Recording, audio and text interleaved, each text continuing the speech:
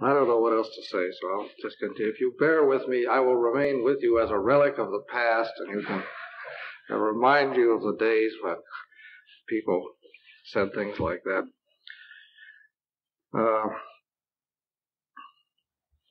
someone asked me to say something about Mother Sullivan. Well, I think that the thing that impressed me most about her is she's a very holy person. She's really holy. And it's another instance of that a kind of exploding the myth that you can't be holy and an intellectual at the same time because of all the real intellectual people. I mean, the really intellectual people that I've ever known have generally been pretty solid people in other respects also. I mean, the, the mere fact of uh, when I say intellectual, I mean somebody that's fully developed. See, and she is a fully developed person, and you can see that uh, her contact with the Bible and her scientific study of the Bible has uh, meant a tremendous amount in her life, and that she's really got something. A very humble person, too, and a very charitable person. And of course, I would have liked to have heard a great deal more from her about the Bible and so forth, but we didn't have too much time. But anyway, she may come back and and uh, but it's very very good to have people like that come around and it's fine to have contact with people like that. Uh, then uh, today, of course, I mean the obvious topic it would be Celtic monasticism, and I'm going to talk about that because it's an extremely interesting and important topic. But before I get to that, I have another note. Somebody wants me to explain what is nirvana. See, well, uh, I don't know. Does that mean uh, does anybody not have the faintest idea what it's what, what that is? What is nirvana? What uh, is anybody absolutely lost with this concept? Uh, you've never even heard of it before, or you're just not admitting it. uh, what is nirvana? I mean, just you know, not not not a scientific answer, but Brother Elias, what do you think? What does it? What does that communicate to you? The Buddhist, yeah. I guess I don't know if the Hindus are after it after that too. I guess, but the Buddhists are. All right. That's uh, in other words, it's the culminating. Uh, the, the one idea that we all probably have of it is that it is what you aim at when you're a Buddhist, see, or even a Hindu. I'm not too sure whether, but I mean, it's strictly, uh, definitely, it's the culmination of the Buddhist life see, nirvana. And uh, it's equivalent to our concept of perfect union with God, and it's also equivalent to our concept of union with God in heaven. See, it is the final terminus of the uh, religious life and quest in Buddhism. However, uh, it does have special characteristics, and I suppose I should, I suppose that's really the point of the question. See, well, in what way is nirvana different, for example, from, uh, well, the, the culmination of the Christian religion and so forth? Well, one of the things about it is what it literally means is extinction. See, so therefore the, the idea is somewhat negative. Uh, it, it, it presents itself to us as negative, whereas our idea of the term of our fulfillment is usually presented in a pretty positive way, yes? Would you say it's strictly a natural state, isn't it? Well, they, they would say so, yes.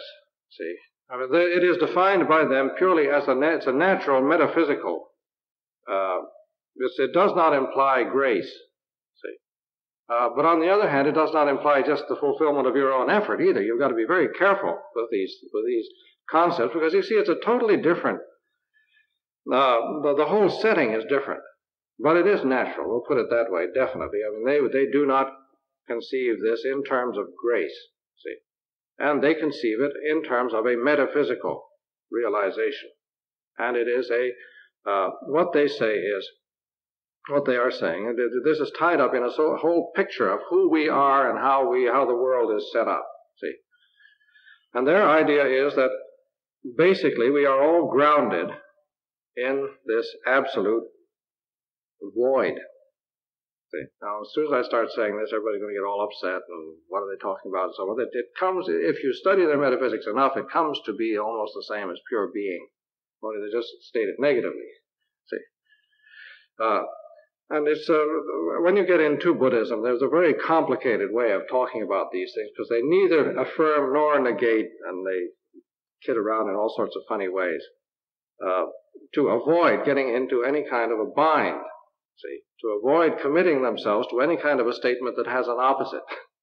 see, but uh, so now nirvana is out of all that. It's the, the extinction of the individual self, of the individual phenomenal uh, limited, contingent self, which is what stands in the way of the absolute.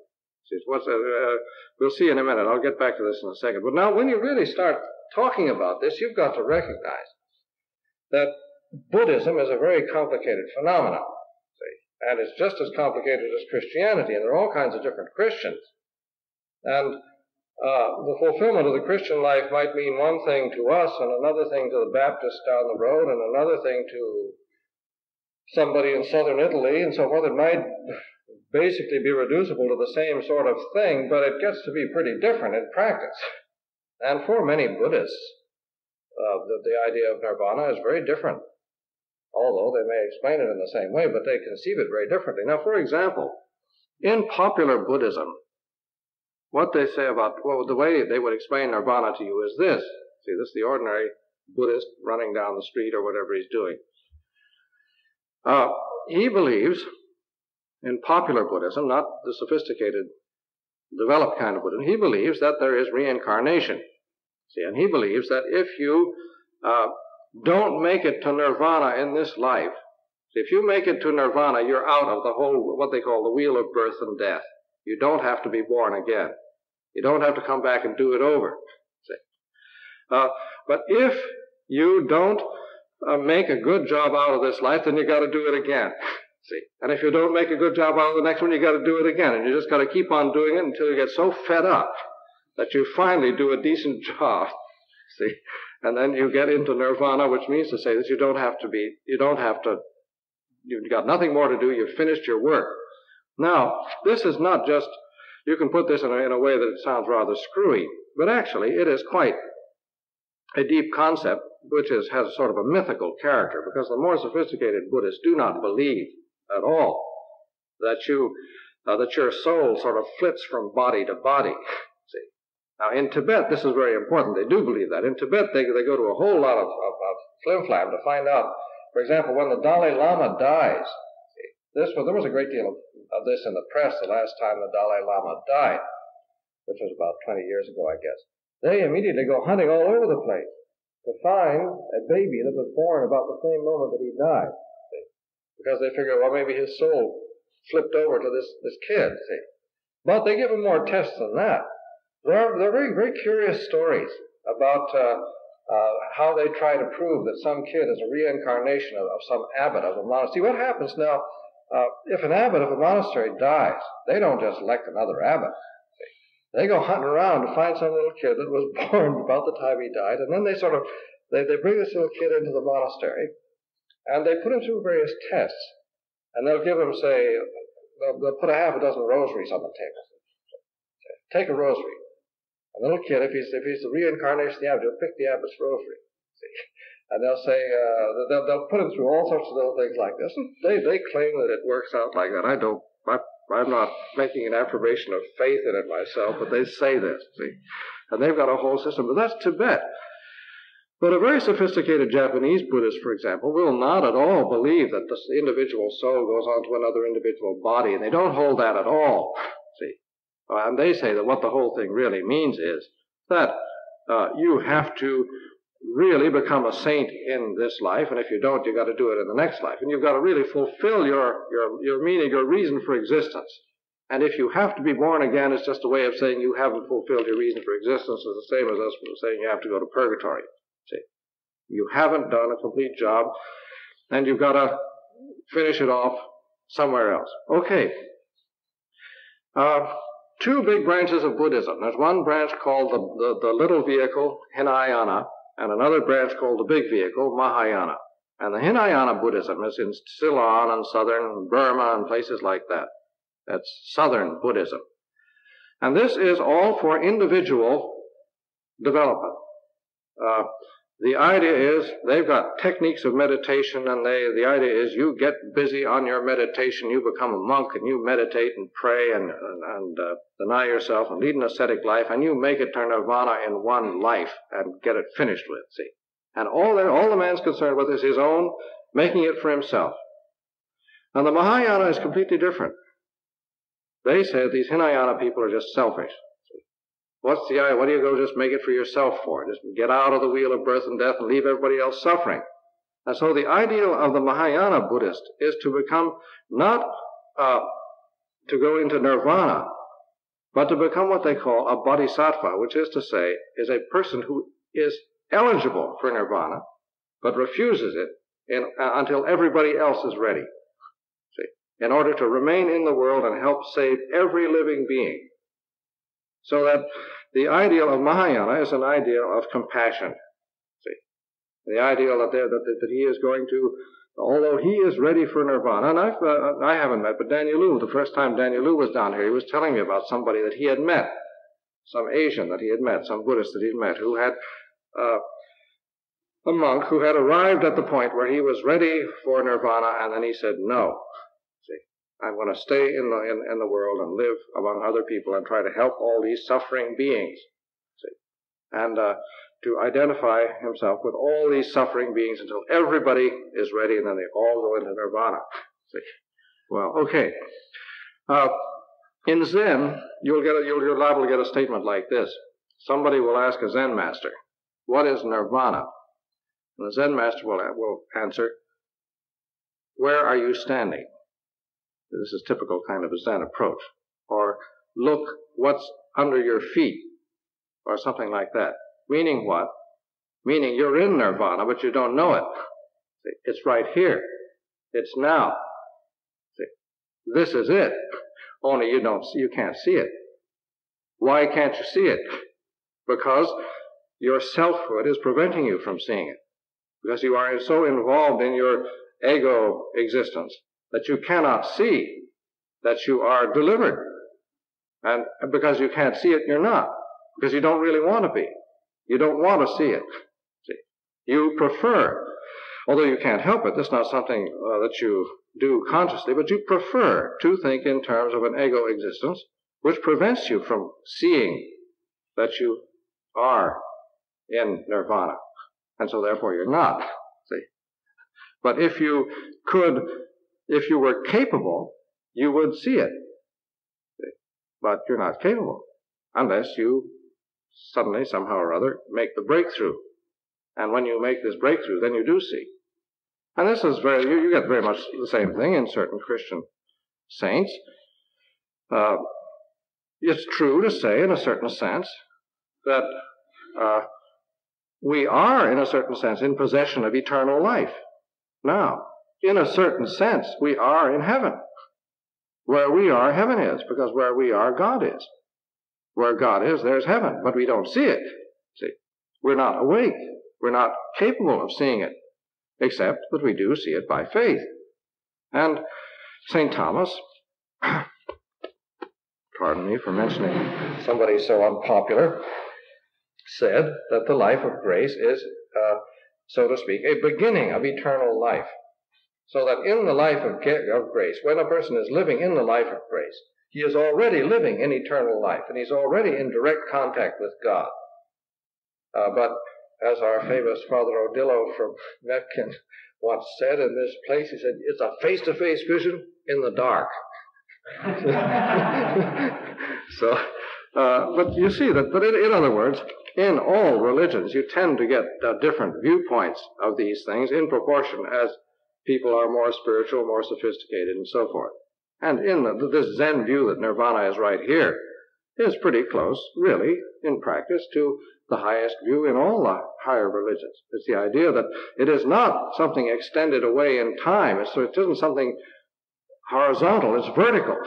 See, to live on this vertical dimension, and this is this is really the uh, purpose of monasticism, and the, this is really the purpose of, of a deep spiritual life in any religion is to get into this vertical dimension. Not to be constantly running towards something which is way out in front, but to realize that it is here and that we're not capable of grasping it but that in one way or another, depending on what, what our religion teaches us, with us, of course, the answer is faith and God's grace and love and openness to God's will. I mean, the sense, see, with us, it's not, with Zen, it's a metaphysical thing. See, the, the, the, with Zen, it's the idea that, that things are, are such that if you could see it, you would see all the way right down into the ground of everything, and you would see uh, into the heart of things and see that you are there. With us, it's a question of faith and grace rather than metaphysics. Do we believe that God is present within us, and we believe that He loves us, and we believe that He is giving us His grace, and He's calling to us, and that we can respond. See? So that is our life. But whichever way you look at it, this is what makes life worth living. And this is the thing that we are constantly coming back to, is that God is with us and that we can be in contact with Him in personal, direct contact with Him by faith and by love and by obedience and by grace and by all the things, about prayer and so forth. And that this is the heart of our life. I mean, that there is this awareness, this conviction of the reality of our life and the reality of the things that we are doing, that they do keep us. And it's not just simply a, a, a, an idea, because we know that when we do correspond to God's grace, then He makes known His love to us. Okay, let's talk about Celtic monasticism. Is that okay? Celtic monasticism is was really, really, really something very beautiful. It's a wonderful, wonderful topic. I'm not going to get into the whole thing because I want to finish up Sufism, but I might as well, if I can dig into some old notes I've got, I've got some old notes on it. Might dig up some Irish rules and things like that. I mean, it might come in handy for for, for, for renewal. We might, uh, uh, but I don't. I'm not recommending that anybody keep the rule of Saint Columban. Uh, if you want a want a real mean rule, why just take that one because they were they were all the time getting beaten for everything. I mean, they had the, they overworked the whip. So if that's the kind of monasticism you want, just uh, just don't just count me out. I, that's not my kind. But there are all kinds of Irish monasticism too. See, all, the, the, Irish monasticism was something quite unique in a lot of ways. Uh, and Ireland, of all all the countries in Christendom, Ireland is, is, is one with a really with a culture that you have to call a monastic culture. The golden there was a golden age of Irish culture, of Celtic culture, when Ireland was the civilized country in the Western world. This is no exaggeration. I am not Irish. I haven't got a drop of Irish blood. I'm Welsh. But the Welsh are all in part of the same, same, uh, same. We're not quite the same kettle of fish. I mean, the, the Irish are a little more, uh, a little less crazy than the Welsh. I mean, the Welsh are, are, are the most far, far out Celts that there are, but, but they're, they're very mysterious, strange people. The Irish are just Irish. See. But there was a time when the Irish were the civilized people of Europe. The most civilized people and the civilizing force on the rest of Europe. And this was not because they were Irish, but as it was because there was a very good historical reason for it. What was that? And when was this? Yes? Sixth and seventh century. Yeah, why, why, did, why was this true?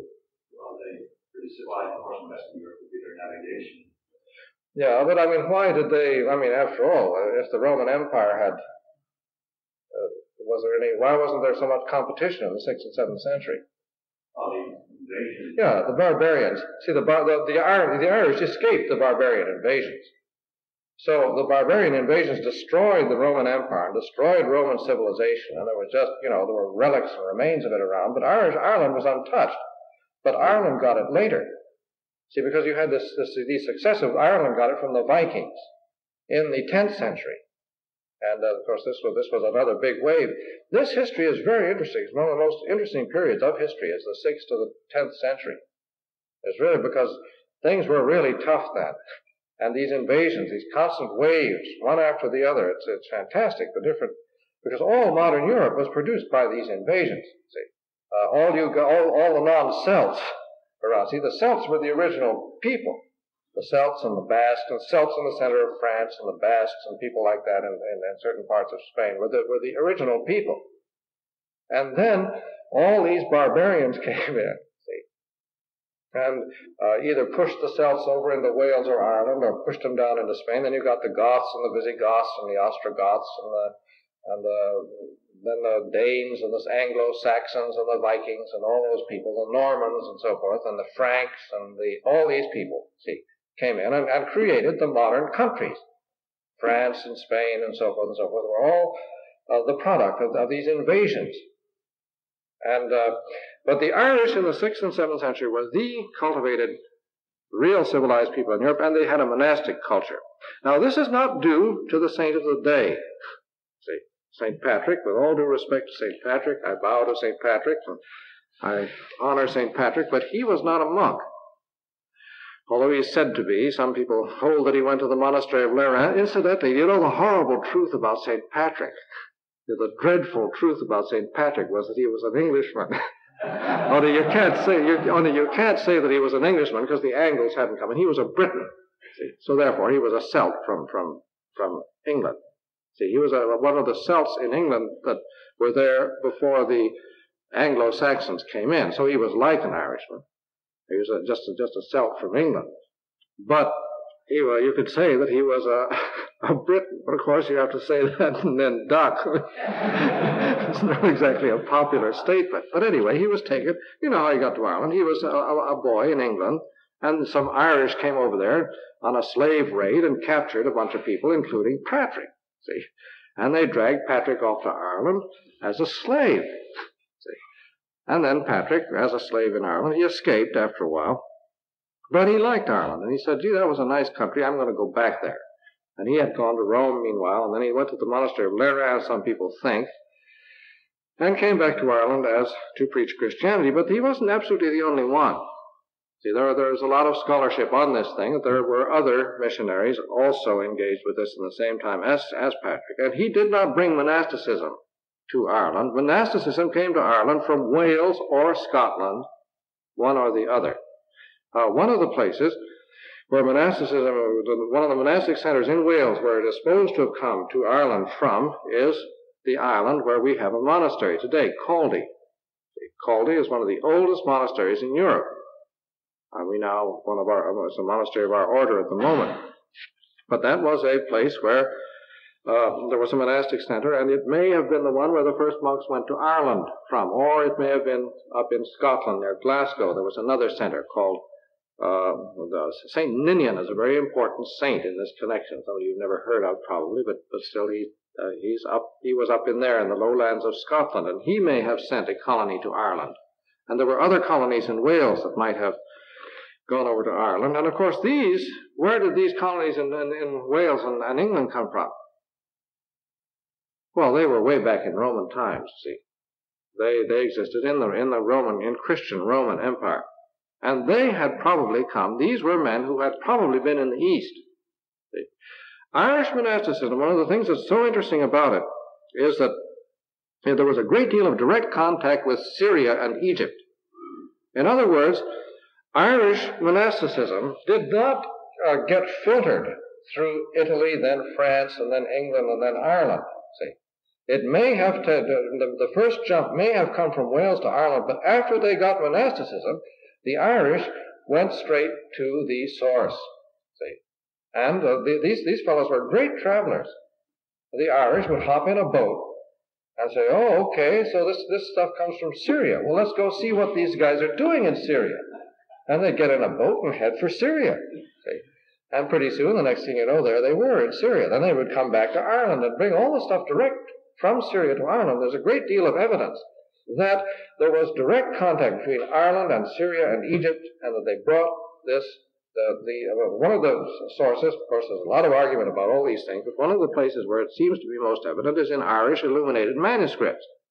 It is said that a lot of these illuminated manuscripts are direct borrowings from Syria, but then there are a lot of other people say that they weren't. But anyway, it is possible that they did. And they certainly had a great deal of, they had some direct contact. And then they did all sorts of very original things. Uh, one, of course, one of the interesting things, when I say Ireland was a monastic culture, an Irish monastery wasn't anything like this. See, an Irish monastery in the golden age of Ireland, uh, supposing this were an Irish monastic center, say in the fifth century or the sixth century. Well, okay, first of all, everybody in the clan, see, is somehow or other connected with the monastery men, women, and children. Everybody. The abbot of the monastery is also the head of the clan. And all the countryside is involved in the monastic community.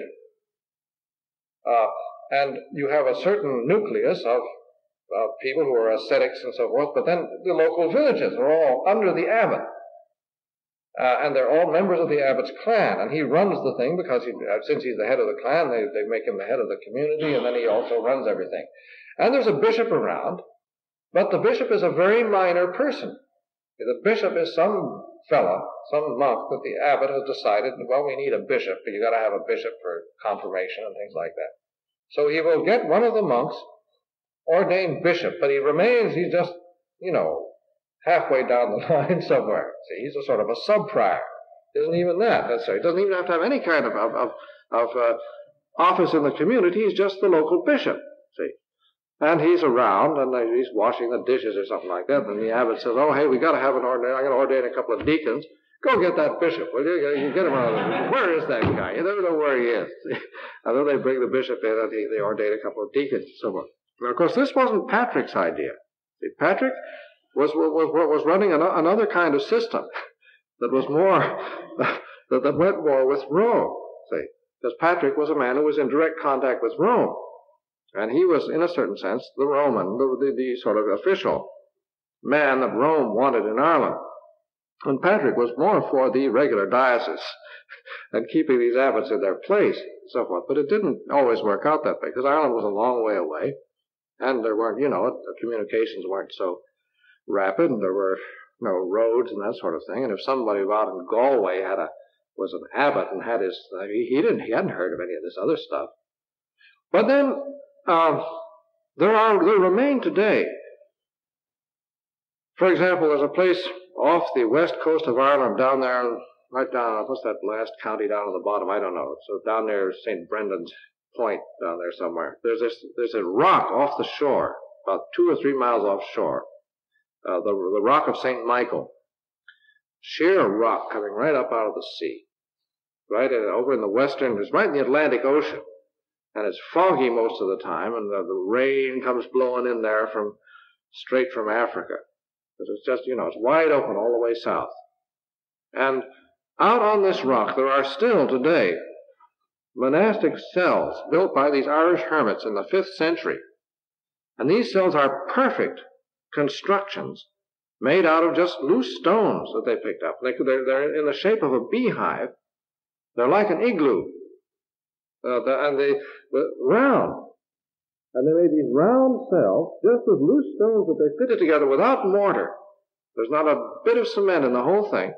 And they fitted the thing together circularly, and they're holding together perfectly today, and you can go in them and you know there's never a drop of rain comes through. They're absolutely dry. And these fellows were living out on these rocks uh, in the fifth century. This was a monastic a, a colony.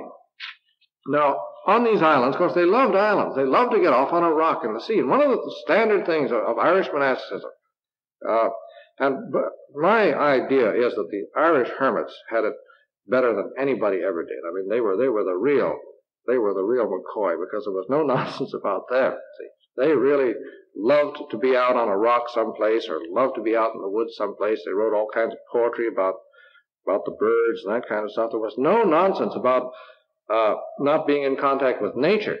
They were very much in contact with everything. They loved creation. They, they were very Franciscan and a great deal of praise of God and, and so forth. And one of the things that you did in an Irish monastery, if you were Cenobites, come summer, if you wanted, you could get permission to hop, hop in a boat and head for some rock out there. You know, to, uh, suppose you're up in the north of Ireland, well, you know that over there is Scotland, and you know there are hundreds of islands off the coast of Scotland. So you go to the abbot and say, "Can I take the summer off? I want to go up to one of those islands out there. I want to find an island that nobody else is on, and I want to spend the summer out there with the seabirds. Live on an island with thousands of seagulls." So they do that. They get permission. They'd head for one of these islands. And uh, a man would just sit on a rock in the middle of the sea all by himself for the summer. meditate, pray, and so on. Then when it starts getting real nasty, I mean, the fall comes along, the weather gets better, then he heads back to the monastery. And he's in the monastery for the winter. And then he studies and, you know, does his, reads all, all the new books that have just been transcribed and that sort of thing. And then the next summer he goes back off on this rock without any books and a sort of a sack of bread and he eats, he fishes and eats fish and eats uh, seagulls' eggs and things like that. This was a standard thing. And so one of the things that they did too, of course, the ideal of, an, of Irish Christendom was martyrdom, but uh, since you, you, weren't that likely to be martyred so easy, they had various kinds of martyrdom. And they had three colors of martyrdom. There's red martyrdom, and there's white martyrdom, and there's green martyrdom. Red martyrdom is straight martyrdom, where you go, uh, I mean, you would go someplace where there were people who didn't like Christians and then get yourself killed. But it was, where, where that usually was in the 6th century was Germany. You would, ha- if you wanted red martyrdom, you would make a beeline for Germany and get down in Bavaria someplace where they were still killing Christians, see, and get yourself, get your head chopped off or something. But as Bavaria became very quickly Christian, then what you would do would uh, go on a pilgrimage because pilgrimage was equivalent to martyrdom. Uh, and this was white martyrdom. That was pilgrimage or a, a, monastic life was equivalent to martyrdom. But it had to be something, uh, you had to sort of really stick your neck out. You had to do something rather drastic. And what they very often did, they would get that boat and take off without oars. See, just, just let the Lord take care of it. They sit out of the boat, push them off, or sit there and wait, see what happens. Well, uh, very often they just are washed back to another part of Ireland. then they get pushed off again and take another. But, but they very, very often they would end up in France. They end up in Brittany. And a lot of monasticism in Brittany and northern France. Incidentally, there's a, there's a nice little colony of hermits that's started by the Abbey of Beaucaire now in an island in the Channel, which is standard for Celtic monks for 2,000 years. And now this is a Cistercian monastery, which has hermits. Uh, and the reason the hermits are on this island is that they can't stand all the reforms that are going on in the monastery. So they're out they don't like to do stuff for the monastery, so they're out living on, on this little island where it's peaceful. But the Irish would get this sort of take off like that, and it is believed. Well, it's not only believed, it's known. Some of them got to Iceland. They were the first people in Iceland were Irish monks, unless maybe Eskimos, I don't know. But the first traces of any kind of civilization in Ireland, I mean in Iceland, were Irish monks. When the Vikings got to Iceland, they found Irish monks there. And this is recorded in Viking historical documents. Here were these monks up on Iceland. They, they didn't get back after that summer. It was a bit too far. See? And it is quite possible that they got to Greenland, and it's quite possible that they got to America. There's, nothing has, has yet been uh, found to prove it, but nothing's been found to disprove it either. And I, I, I personally will be the last man to be surprised if someday they find some traces of something up way the heck up by Duluth or something like that. These Culdees found, probably found the St. Lawrence River and ran right the way up to the end of the Great Lakes. I wouldn't be surprised at all. I mean, it's quite possible. And there is even a, there is even a, a well, of course, they could have run into some very interesting things in this country here. Because there were some fantastic things going on in this country way back then. There were some fantastic Indian civilizations that disappeared before the rest of the white people got here. These, these fellows that were making these mounds up around here in Ohio. You see, they disappeared by the time the, the, the white people, the Americans, came out here. They, were, they, weren't, they weren't around anymore, but they've left these mounds. Very strange mounds. There's, there's one mound up back of Cincinnati somewhere. It's, it's a long thing. Seen from the air, it looks like a snake uh, going across the country. And nobody's ever figured out who did these things. Well, they, they know that they've, they've got it, they know who did it more or less, but I mean, they have no real details about them. Uh, so they, they, all sorts of funny things could have happened. Another thing that they would do a standard procedure for an Irish monk was to say, Well, I'm taking off to look for the place of my resurrection. And the abbot would say, Okay, son, go in peace. Then he would head for wherever he was. Maybe he would head for Jerusalem. See, maybe say, I, I, the, the standard thing, if you're a Christian in those days, well, I'd like to go to Jerusalem and then settle down. And you find the place of your resurrection as a little, you get the word, so to speak, when you get there. And when you find the place of your resurrection, then you settle down as a recluse. Uh, if it's a Christian country, you settle down, you get yourself walled into a little hut on the side of a church. See? And this is your tomb, and you're, you're, dead. See, you say, well, this is it. This is the place of my resurrection. Why move any further? Adjutorium nostrum, knows.